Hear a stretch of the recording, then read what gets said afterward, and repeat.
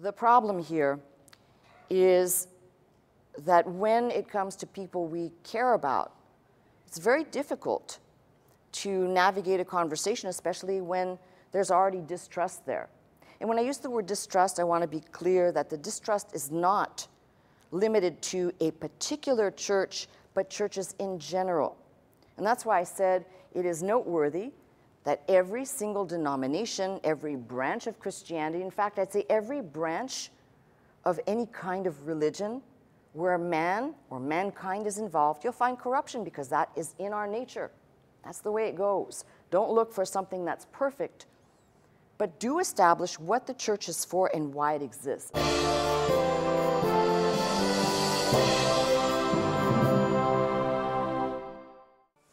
Okay, so I want to share something with you that is was kind of a, a strange avenue to take for a message, but I'm going to go down this pathway and I'm telling you what my motives are right from the get go. Um, this message, and possibly, if the Lord will let me do this, a series of messages that will be designed for just two people, only two people. And really, when I say this, you'll understand it's for two people in my life, but it will be possibly for somebody in your life as well. Um,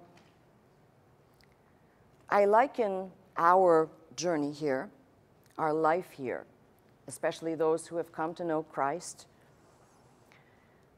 very much like people who have escaped um, a very dire situation, a burning building, a sinking ship, you name it. And take the one of the sinking ship that's probably the best one, and you know that there are two more survivors left. Do you risk yourself to go back and get them? And the answer for me is yes, of course, because I know whatever I had until that point was just grace anyway, God's grace. So, of course, now I put it into the reality. Two people who are very dear to me in my life, and yet very far from the knowledge of Christ and why I am a Christian. I pray for them first to have an open mind because I have, I have motives here. I'm telling you what my motives are. My motives are to make a series that will be with the design of being able to give these to this individual and for you to have those in your life do the same thing, presenting something that is not designed to proselytize, not designed by desperation and by crazy pleas, but by demonstrating certain things that I feel are so important to our faith, to Christendom, and yet much of it is overlooked and not even touched on.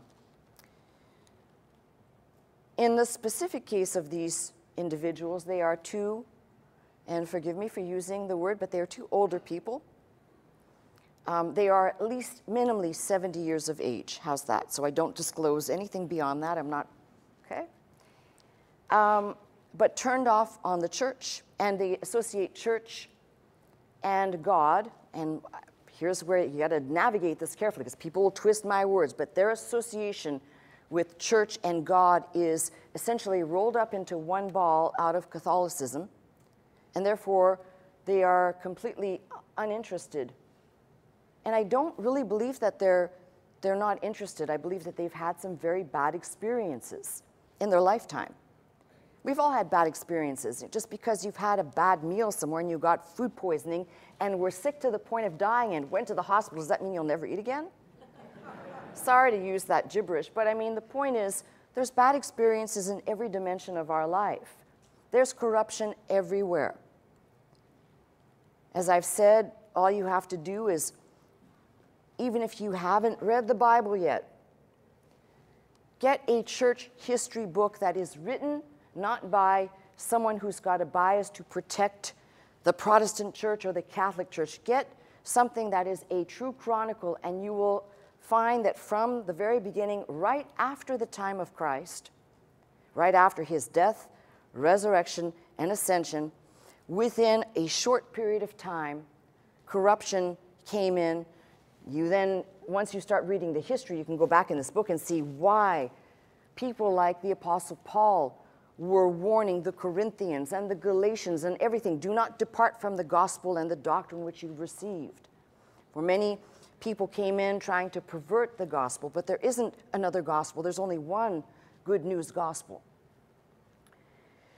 The idea here is to, in my introduction, to present some very simple things and then we're going to get into a little bit of history briefly. And this may not be the type of message where you leave here um, so filled with all kinds of fluffy feelings that you just feel like a cotton ball, but rather this is the type of message that you could actually hand to somebody and maybe the first of a few that says, please take a listen to this with an open mind. Because my, again, I will repeat, my design is not to proselytize you and to get you somehow, me, to get you to convert to Christianity. Only God can do that. Only God is able to open up our hearts and our minds. Mine was closed for many years, even though I said I knew God. And the fact of the matter is, when I began to listen to Dr. Scott and the teaching, I realized I did not know God. I knew a God of my own imagination, a God by my understanding, because we all have this idea that God can be whatever we want Him to be. And by the way, He is a Him, not a she. Just making sure we're all on the same page. But the problem here is that when it comes to people we care about, it's very difficult to navigate a conversation, especially when there's already distrust there. And when I use the word distrust, I want to be clear that the distrust is not limited to a particular church, but churches in general. And that's why I said it is noteworthy that every single denomination, every branch of Christianity, in fact, I'd say every branch of any kind of religion where man or mankind is involved, you'll find corruption because that is in our nature. That's the way it goes. Don't look for something that's perfect, but do establish what the church is for and why it exists. And the first thing is Christ, when he said, I'll build my church, he was talking about building a people that belong to him, outcalled ones that belong to the Lord. So when people talk about the church, it's very disturbing if the understanding is you are part of the church as his people, not as a building, not as an institution, not as a body that writes canon law that dictates what you can and cannot do. The whole goal of a church, any church, is to bring the gospel, but the whole book to life, to explain, to come, to exposit, to pull apart and pull open and make plain the very simple things that even in today's society, people are still arguing about. For example, and the topic will never end, well, there'll still be debates about whether people believe in evolution or whether, again, if you're going to go down that pathway, and I can sit down with anybody who has a different opinion and I'll listen to you. I want to be heard as well. But give me, give me some hardcore proof. Don't just say, I feel like or I think. Back it up so that when we begin to really argue the matter of what it is you're presenting to me, uh, I will indeed try to pierce holes in it to try and look at the validity of it. But above all, I'm going to go back to this book. This is my, my compass. But if you take people who are hung up on evolution, we must have evolved. And the theory which has been presented uh, and presented over and over again versus those of us who believe that God spoke and out of nothing, everything. And I find it fascinating. I've made reference to this that scientists, those people who are looking into space that are talking about this still expanding dark uh, matter, if you will, I believe is still the effects of God speaking whenever he first spoke that is still continuing to expand. what these will not acknowledge as God. But the curiosity for me is how to say you're just an accident. And I've used the example of a watch, of taking a watch and saying if you took apart a watch and tossed it up in the air, would it land back on your wrist and all in one piece and working? You could say, well, it just happened that way. And this is how we came into being. But it would require some definite precision. If you think about how we are made, how our bodies are made, how we are designed. And it's not as though we have radically changed from the beginning of recorded human history. There is a birth time and there is a death time. And nothing has changed. We can say that we have figured out how to live better, how to eat better, how to fix certain things, but there's still this beginning and end. That has not changed. I cannot call that evolution. I have to say that God had a design at the beginning, which starts in the book of Genesis. And that design was for God to, as He did, make Adam in His own image, and I believe was for His good pleasure, for Adam and God to be together in perfect communion. So when people say, well, well, why do I need the church? Why do I need to come to church? Why should I even bother listening? Because I don't want to know about the church and I don't want to know about the Bible because you can't believe the, the reliability of this. Who knows where this came from? My argument begins with this, and it'll always be the same thing. It's rhetorical, so don't answer. But do you think that you were just made so that time can, like that um, time piece that the sand goes through, that somehow you're just made so that the time, the sand can just erode, and when it expires, you do, and that's it?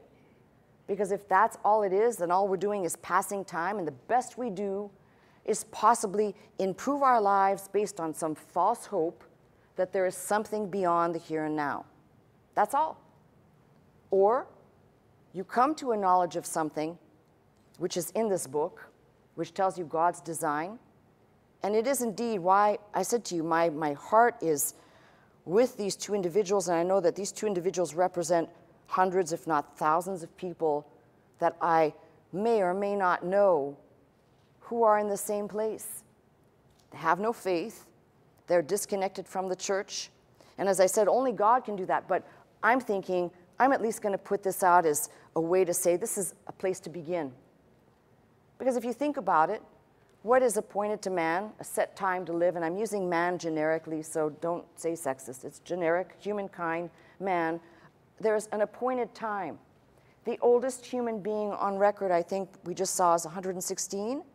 I think that was what I saw, 116. She might be 119, I don't know. Little Asian lady. She looked pretty good for her age, by the way. Very happy, and she was eating cake. but that's an anomaly. And by and large, when you look at it, you know, most people and they might get into their 80s and 90s, and, and that's their allotted time. Who knows? Only God knows. But there is an allotted time. And the question is, why not?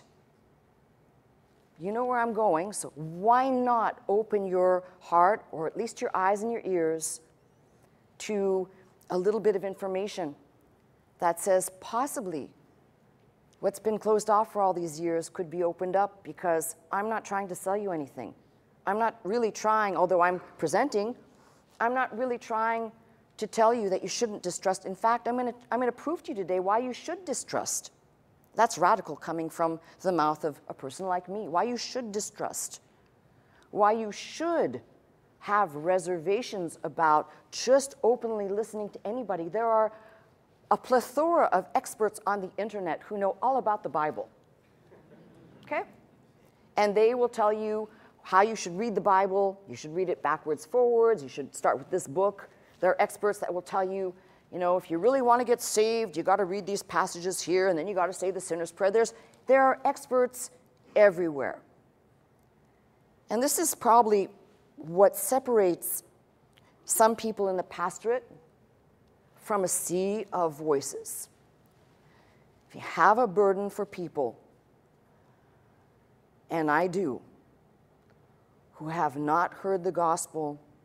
They are turned off and have confused God and the church by some corrupted method that they've been exposed to as a negative, bad thing to avoid. And especially these who are approaching, we'll call it the last few miles of their life. How tragic to live a life without faith and never knowing who the risen Christ is and the hope of glory. Let me tell you, when I didn't listen to Dr. Scott, I used to say, Oh, of course I believe in heaven, but mine was the heaven of my imagination. It was the heaven that somehow in caricature is the thing we probably all imagine as children. You know, little cherubim babies kind of in diapers with harps and shooting arrows and all that kind of crazy stuff and clouds and whatever else is going on in heaven. And then I read one day, and it was very moving to me. I read one day about Christ's promise for just one thing, for my faith in him to receive life eternal. And what, what should that mean? Life eternal, essentially, at the moment I begin to faith, starts in the here and now. And I begin to learn about the one who I'm going to spend eternity with. Eternity is beyond your years allotted here, it is forever and ever and ever. Now, if you still wish to be on the side of saying you still don't believe, I can respect that once you've spent the time at least to listen and as I've said in doing my studies, particularly for my degree, I had to expose myself to certain things that maybe I did not want to do, but had to do in order to have a certain knowledge and not be acting in ignorance, specifically when it comes to the fields that I am discussing. Same thing is true when people start talking about religion. My late husband used to say, everybody's born an expert on what? religion, and politics. There you go. So, unfortunately, that's the way things happen. But at the core of my faith and at the core of the church, and I'm now using the church in a global way. I'm not just saying this church, I'm saying the church, is the resurrection of Jesus Christ, that he lived, he came in the flesh, the incarnation, and he foretold of the necessity of him laying down his life for a human, we'll call it since the time of Adam, since the fall, covered in sin without any possibility of removing the stain of that sin and the reconciliation of that perfect communion that existed before the fall, where he foretold of his death and his resurrection. They didn't understand when he said that the temple would be torn down and be raised up. Or when he said, There'll be no other sign, they came to him, to Jesus, and said, Give us a sign. He said, There'll be no other sign except the sign of Jonah, which was what? Three days and three nights in the big fish's mouth, belly, wherever other parts he ended up, who knows. So, and by the way, for those people who are still not sure, it's okay sometimes to, to uh, lighten up a little bit. I don't think God's going to be offended if we should have a little laugh. I don't think God is sitting up there and saying, be uptight, be real uptight.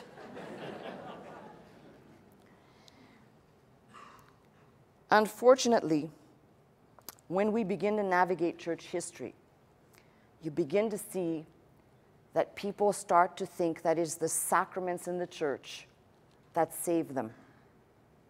Now, I'm leaning heavily towards using the language that most Catholics and maybe some Anglicans might kind of go, yeah, I know what that is. But the sacraments that save, the sacraments that you must do or you must qualify to participate in, and the rituals that are dictated by canon law.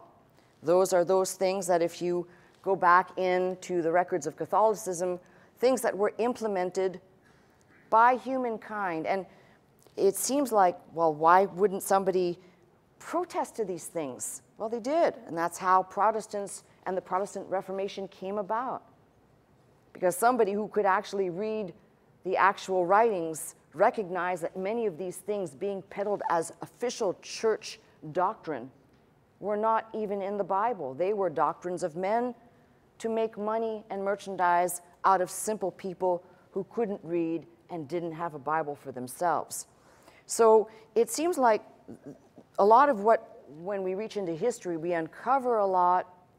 And that's why I said it's good, it's good to distrust because in distrusting, you're not approaching something and saying, oh, I'm just, I'm just a, a dummy with blinders on and I'll follow anybody that says Jesus, Lord, and church because they say it told you about one particular evangelist, you know, let's talk about the skyscraper stories, and every now and then you throw in a hallelujah, a Jesus and an amen, and that's spiritual for some people.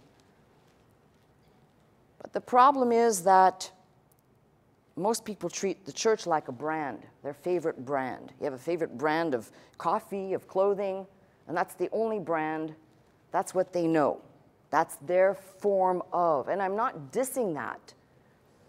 Some people are, are not interested in learning.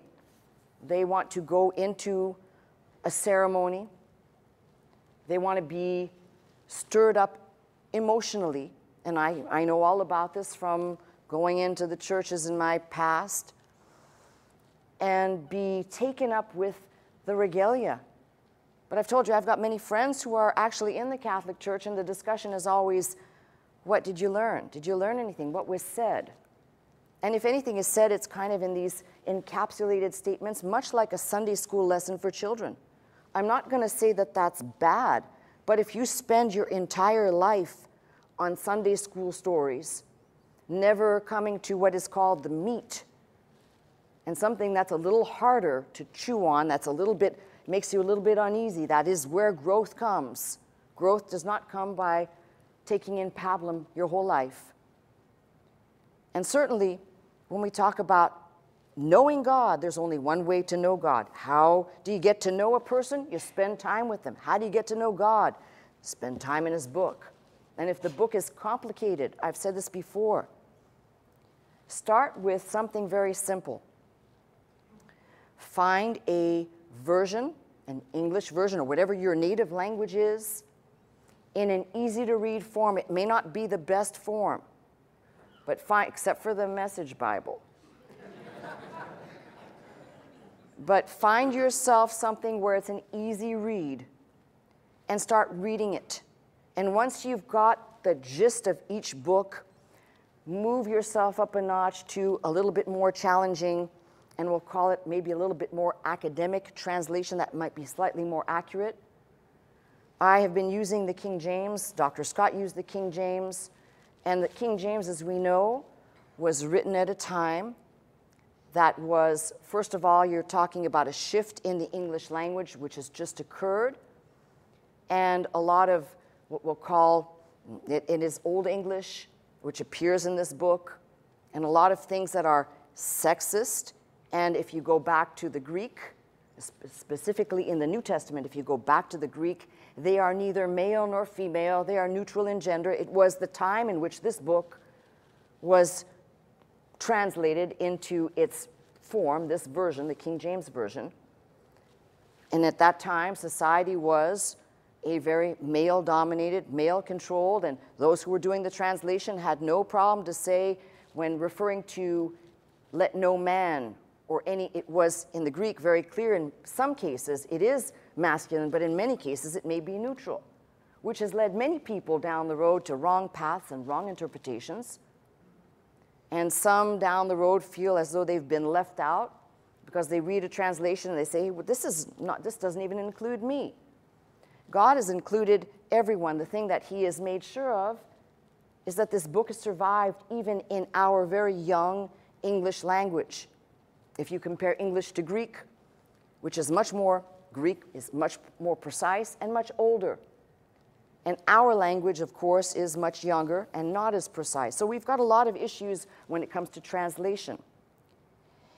And probably, if I'm going to sum all this introduction up, as I mentioned, how people view the church and their understanding, there should be something that you walk away with. It may not be every single Sunday, but let's just take a bird's eye view of a year's time. And actually, I'm going to remove myself from the church and say, let's just say you enrolled yourself in something. You, were, you went to learn something a language, a vocation, a skill. At the end of a year, you should be able to look back and say, I have learned something. I'm walking away with more knowledge than when I started. Is this true? I hope so. Good. We're on the same page then. Well, it's true then of the church as well. Now, there, there are no new truths. There's 66 books, and you keep kind of finding, we'll call them the hard points, and you keep revisiting them in a diversity of ways. And as you become more familiar, this is the way God's book is, as you become more familiar, having gotten the big picture by the easy reading and move yourself up gradually, you come to realize that you don't actually know all that you think you know. And the more you stay in the book and the more you listen, the more you realize that these things are very deep. And although the surface is very simple, in the beginning, God created very simple statements.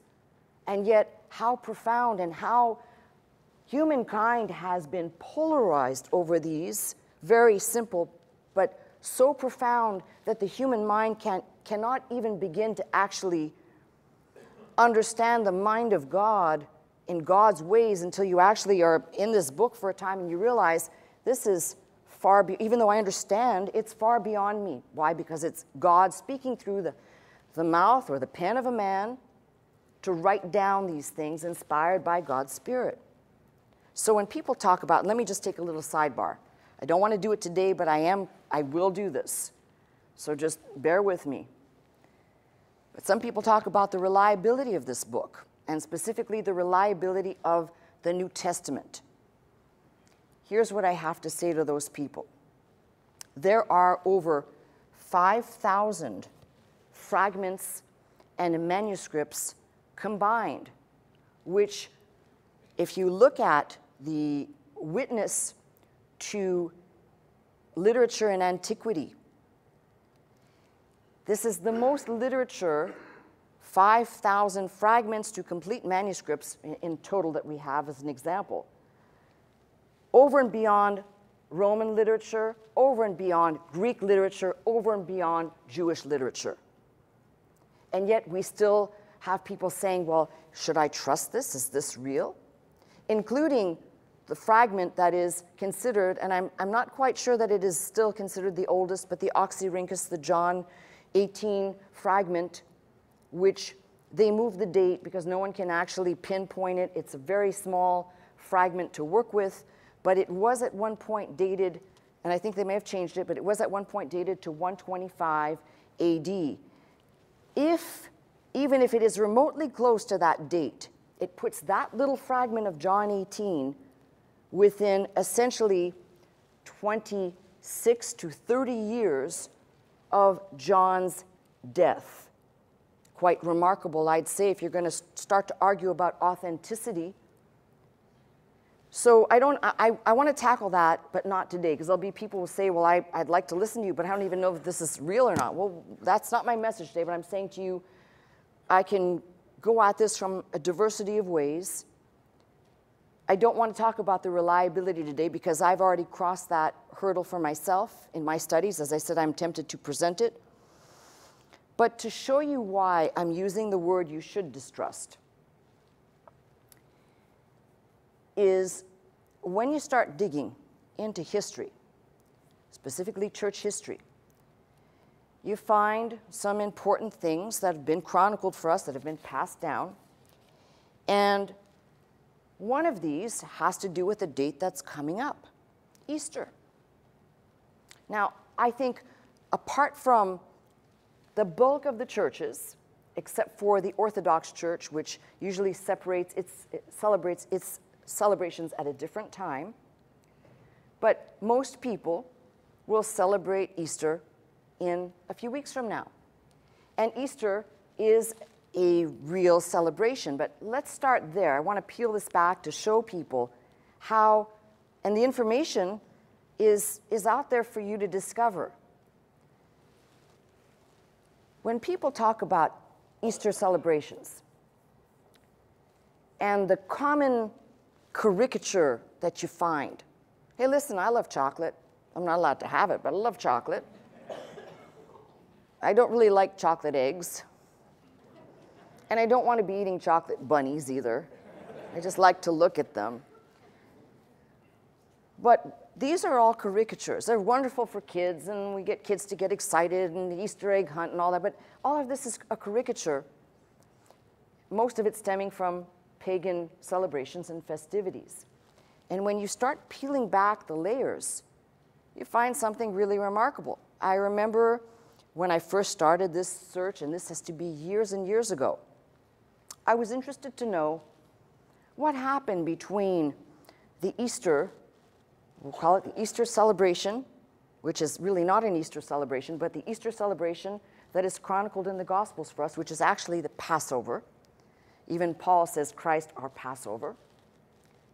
What happened between that celebration and the Easter that we have today is an amazing thread of, if you want drama, look no further.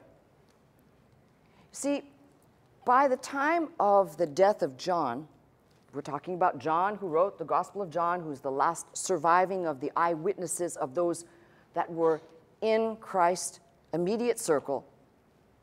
And most people put his death somewhere in the late 90s and maybe as late as 100, but certainly 90 in the late 90s. And then you've got an interesting situation that begins to happen as the Great Commission, by the way, was being carried out by the disciples. When Christ said, Go ye into all the nations, right? And he tells them to go out and teach the people. He didn't say, Show them how to feel good or entertain them. He said, Teach them, make disciples, make learners out of them, which is what the church should be doing still to this day. But you only have to go until about the year 1 well, I'm going to say maybe 116, 117, I may be off by one year, in the Chronicles of the Catholic Church. Now, when I use the word Catholic, it is not yet in history, it has not yet become a split, quite split church, although the formation of such an institution began to morph itself as if you remember in the book of Acts, people were coming and being saved, and it was a multitudinous lot being saved that were coming in, and the church was rapidly expanding. Now, it's one thing when you've got one leader, Rabbi, Master, Lord Jesus, with his 12, and the ladies that supported and followed him, versus now a whole community which could be quite unruly, some of them coming out of Judaism, some, some of them coming out of paganism. So now we've got this kind of the need to do what we'll call crowd control. It's not enough to just say we're doing this. Now we've got to start implementing rules to kind of keep everybody in their box, which those rules primarily came from the established church at Rome. Here's what happens. In one, somewhere between 166 and 174, and the dates, if you look them up, they are all over the map, but a, in that general ballpark, then we'll say circa those dates, a pope by the name of Soter, S O T E R, whose name would mean savior in English, he establishes in his time as pope, he inaugurates the celebration at Rome of Easter. Don't think that it originated there, but he, he basically inaugurates the celebration at Rome. See, most people think that as you follow church history, by the time these councils of people gather under Constantine, the Council of Nicaea that gathered in 325 AD, most people think that's when the date of Easter was settled, and they just kind of put a period there. No, that's when they established that we're going to eradicate any other idea or celebration because this implementation of what we now call it dogma of what we now celebrate was not unanimous. We're not talking about whether or not Christ rose. We're not talking about that. We're talking about a day, a date, and a year. This problem became a huge problem for we'll call it the beginning of a great bifurcation of believers, which eventually morphed the Roman Church into the Holy Roman Catholic Church. And Catholic at that time before meant universal. Later, it will simply, it will fraction itself versus those who were believers, Christians of Asia Minor who were not necessarily under the same control of the Roman Church. Now, what happens here, that's why I said you should distrust, don't think that I've gone off on a sidebar. This all has to do with why people need to look at information, why it matters.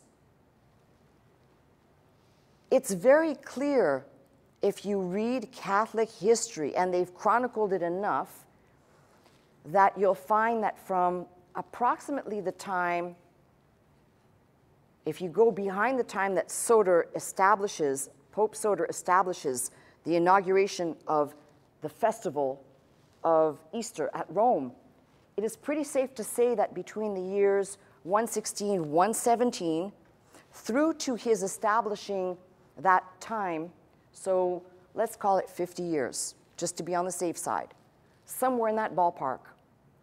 We don't even know that there was even an Easter celebration of any kind. Now, don't get confused. I'm not saying Easter is a real, real deal. The, the name Easter is, is English, doesn't even properly represent what we're talking about, but I'm using this until I get to that part, so bear with me. But it's very clear that there was a lot of confusion and at least a 50 year period within the Catholic recorded record that reflects no celebration or mass confusion. Now, you go from, you're saying, Did I come to church to learn about Catholic history? Yeah, it's important. It's really important. You pass from Soter and his successor, I remember his name because if you think about it, I always say his, his name is Uterus, and then you put Ellie in front of it, Ellie Uterus. I have weird ways to remember things. After him, yes, yeah, so the Pope, Pope Uterus. So I'll leave that one alone. The Pope after him is Pope Victor. And this is what starts to get really where you start to see how we tend to not analyze this history at all. He dispatches from his see or wherever he, he's at Rome, he dispatches a bunch of bishops throughout the Mediterranean to discuss the subject of Easter celebrations. Why? Because the Christians in Asia Minor, for the most part, we're celebrating Easter in conjunction with the date of the Passover. That would be, you find that date in Exodus when God institutes the Passover and gives the instructions to Moses before they exit out of the land of Egypt. And those instructions given are given for the 14th day of Nisan, which is on our calendar, March, April, the 14th day.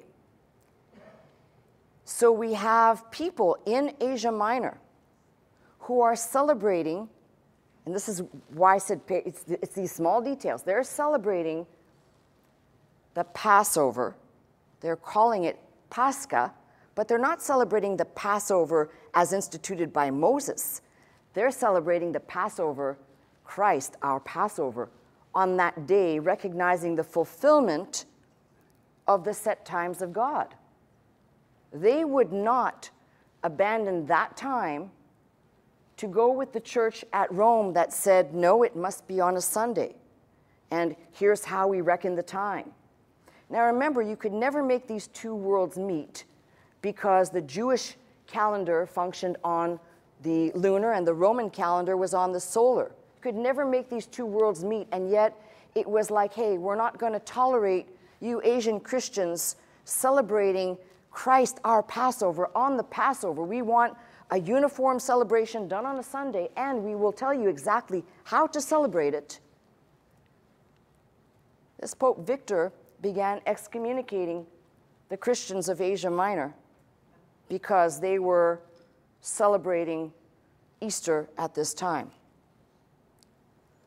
Now, I'm just saying, if I were one of these people in that day, and my convictions were such that I'm, I know that Christ is the fulfillment of the Passover, and I'm, I'm convinced that's the day I should be celebrating. Let me celebrate my thing. You celebrate yours. Leave me alone. I don't, you know, I'm, I'm going to be perfectly happy if you just, you just go and do whatever you want. You can wear a, a fish hat if you want or whatever you want to do, but I'm going to have my celebration. But he started excommunicating Christians. That began an incredible schism. And we know for a fact the target of some of these people who were being threatened by excommunication were at the churches, specifically at Ephesus.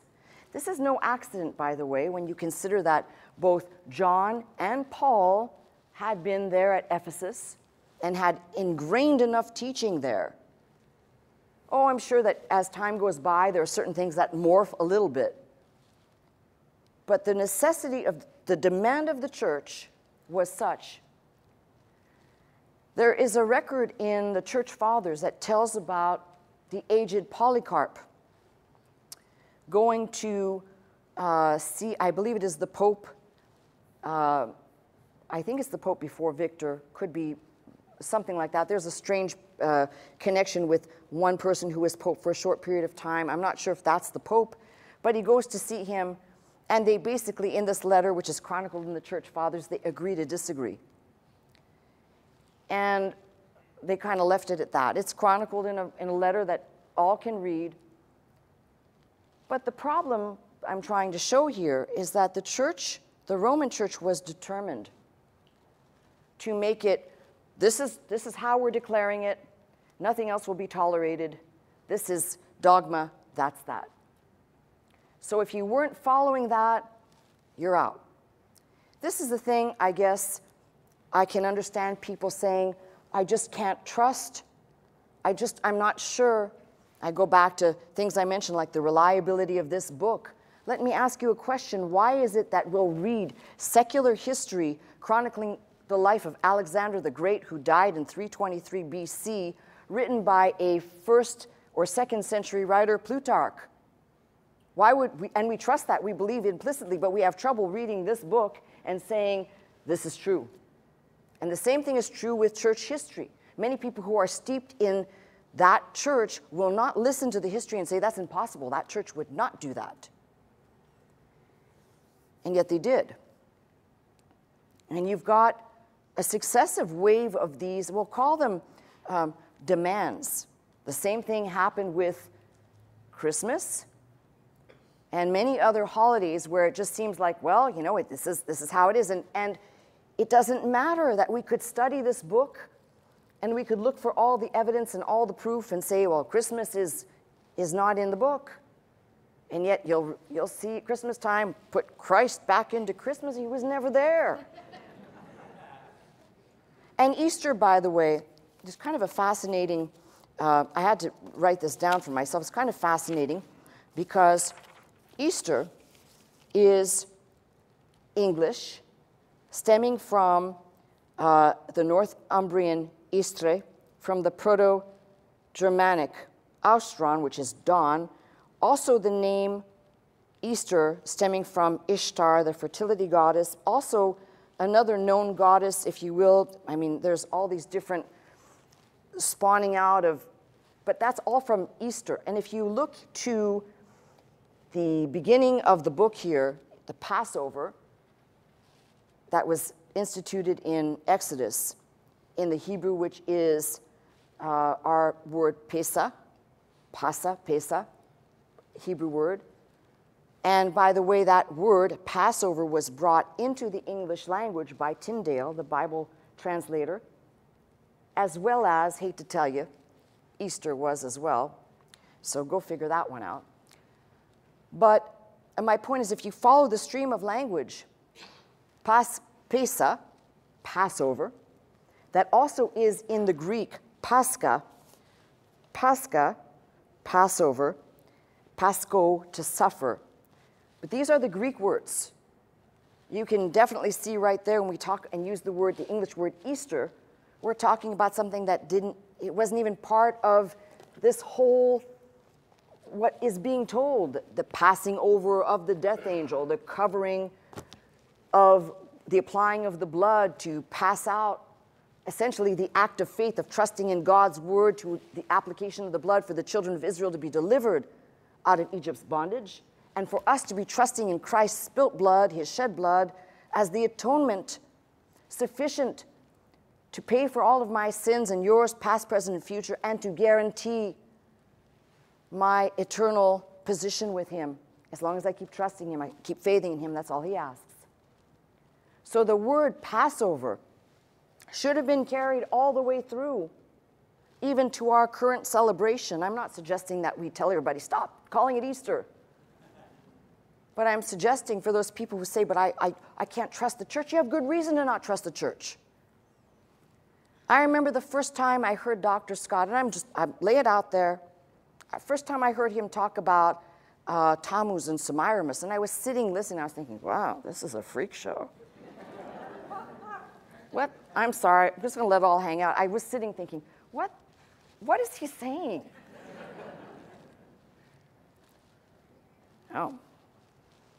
Then, you know, she gave birth and, you know, and then it's just, and, and I, I'm listening to all this. I mean, if you, if you're listening to this message and you say, who is Semiramis and who is Tammuz, I may get to that later, but it's way out there, okay? But in fact, you've got to look into antiquity to see that many of the creation myths and the creation themes are perversions and corruptions of this book. That is not to be, you know, omitted. So why am I presenting all this today like this? There's a reason. Because I want to start peeling apart and looking at why, if somebody is, is as I said, for me, it's two individuals I have in mind. It may be more, but certainly these two I have in mind. I'd like to say you have good reason to not trust. But there's a big difference between not trusting the institution versus trusting God. And these two, the lines can get very blurred if you're not careful. Why? Because you come into one brand of Christianity or one branch of the church that says, just trust me. You don't have to do anything else. Just follow me you don't even need a book. You don't need to know anything. Just follow me. And, and when it's time for you to do whatever, I'll tell you what to do. Versus somebody like me who says, Here, I want to give you all the information. And I know it's a lot to ask somebody, but I'm asking you to consider the information. I'm asking you to consider history. I'm asking you to consider some language. I'm asking you to consider the fact that we human beings are fallible. We all, all of us, make mistakes have misunderstandings, have biases to certain things where we become dogmatic and we insist that our way is the only way. There is one way here, and as I said, it's still a problem because we're dealing with the English language, which falls radically short of the original precision of Greek. But at least when I say, give me the opportunity, and if not me, find someone who will give, who, who you will listen to who is not saying just follow me blindly. I'm asking you to engage in, a, in an activity called higher learning in the things of God, which doesn't require you to uh, don a certain particular vestiture or a certain position or become less or change who you are. If there's something to be changed about you, believe me, God will do it and it will be imperceptible and it will be over time. Now, some people worry about, especially I've encountered men who worry tremendously that if they start following, that they will somehow become these pushovers and they'll become like milk toast people. And it's like, I don't listen, I don't know what type of Jesus you're familiar with.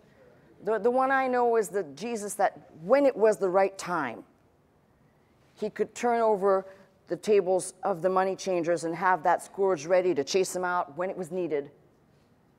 And when it was needed for him to use a certain type of speech with his disciples or others, he did that. It wasn't always, you know, Jesus is a macho man. You know, he's, he's the coolest guy around. Yo, what's happening? Right?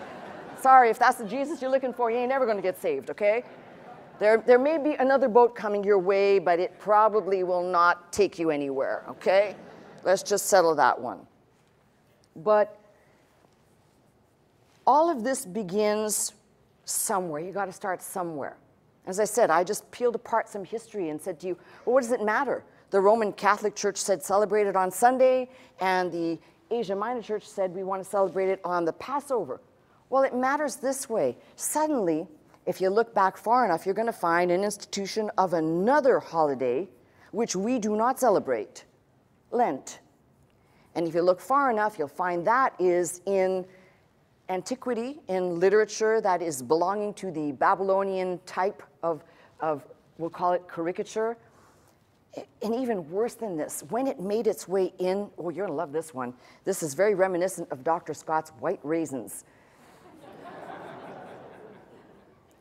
when this particular passage was being translated by one of the translators in antiquity, he didn't say 40 days of fasting.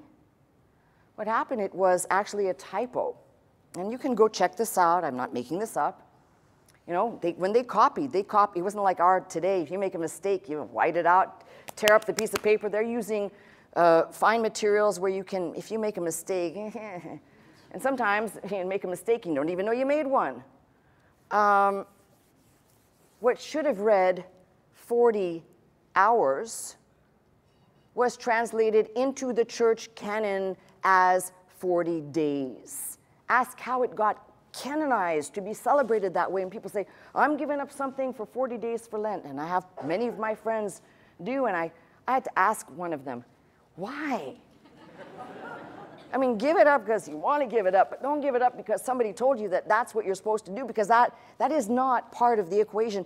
And, you know, you could say, well, because Jesus went, you know, and 40 days represents a total time of testing. Let me ask you a question. Now, one of, one of my Catholic friends said they, they gave up something that's, they, they just can't live without for 40 days chocolate. It's a sacrifice, Lord. I'm sacrificing this chocolate for you.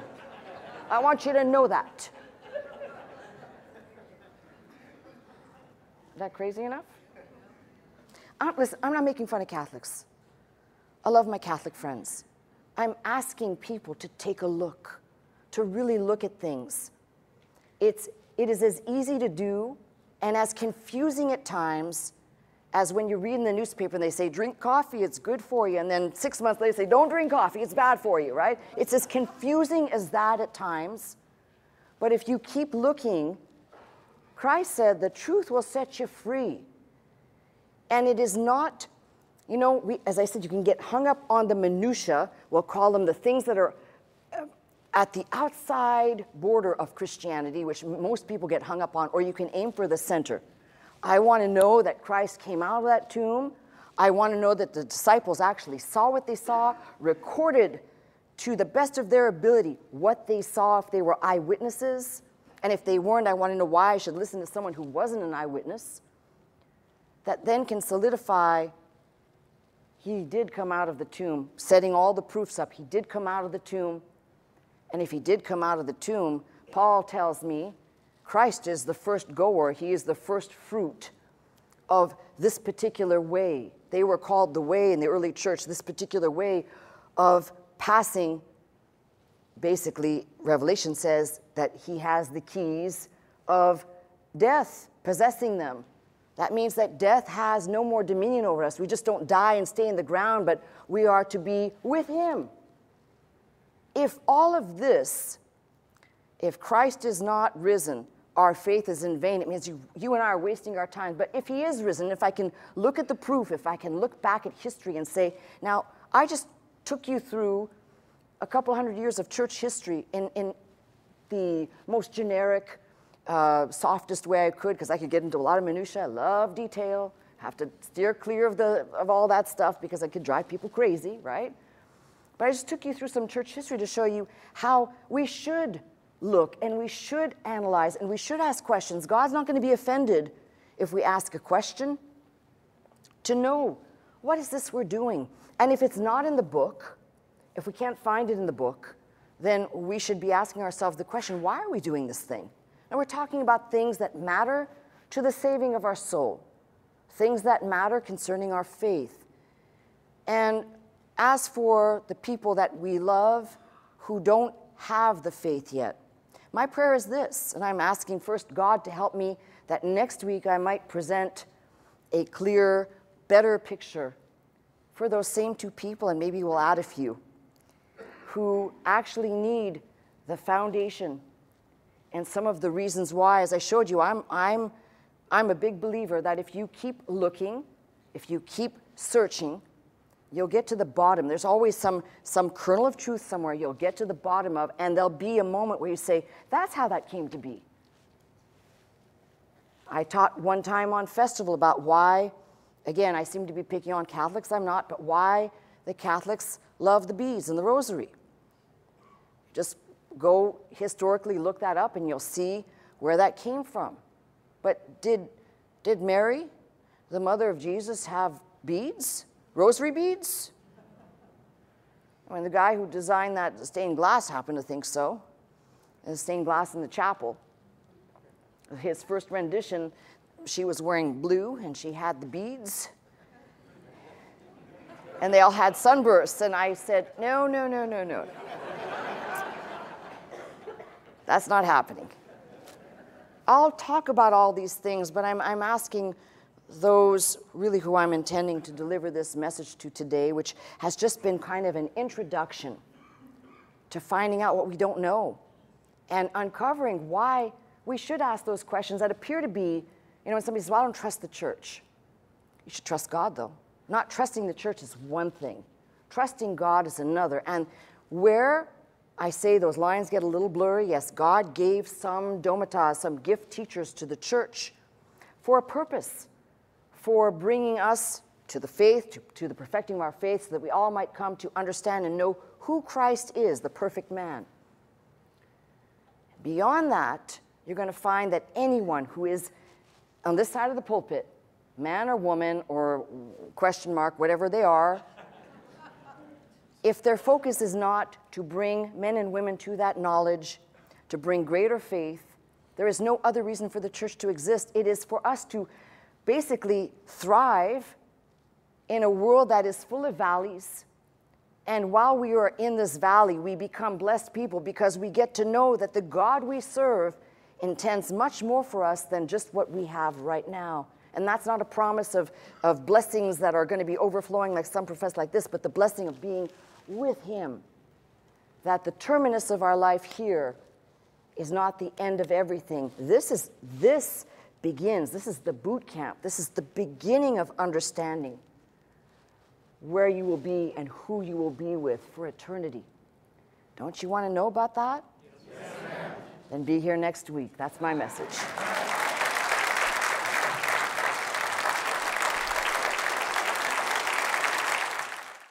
You've been watching me, Pastor Melissa Scott, live from Glendale, California at Faith Center. If you would like to attend the service with us Sunday morning at 11 a.m., simply call 1 800 338 3030 to receive your pass. If you'd like more teaching and you'd like to go straight to our website, the address is www www.pastormelissascott.com.